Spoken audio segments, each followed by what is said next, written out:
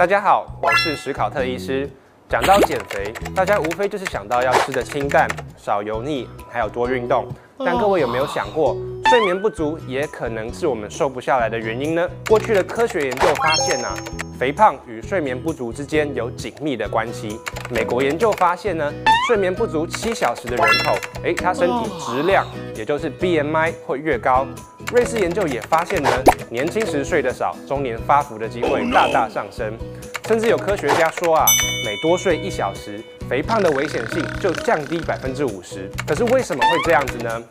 原来啊，睡眠不足会干扰我们体内的内分泌，包括皮质素、受体素、饥饿素等等，促进脂肪累积的内分泌都会乱掉。